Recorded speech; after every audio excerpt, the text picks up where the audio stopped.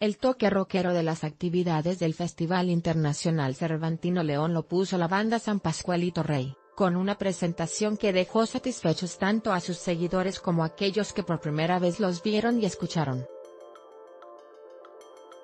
Esta agrupación originalmente formada en Ciudad Satélite Estado de México, se presentó la noche del pasado viernes en la Plaza Fundadores, en un concierto gratuito en este sitio que alberga uno de los iconos modernos de la ciudad, la Fuente de los Leones.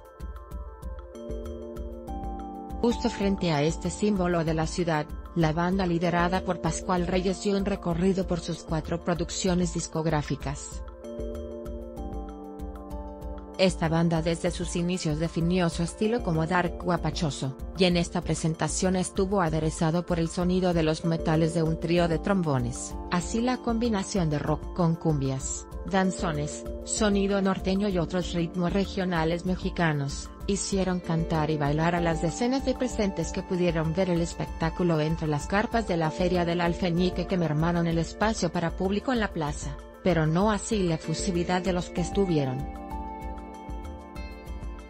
Uno de los momentos cumbre fue el homenaje al guanajuatense José Alfredo Jiménez con la versión de San Pascualito Rey de Corazón, Corazón, y qué mejor que en el corazón de su bonito León Guanajuato. El concierto culminó con Pascual Reyes cantando entre el público presente Nos Tragamos, una de las canciones del álbum debut de la banda, dejando efusivo y contento a su público.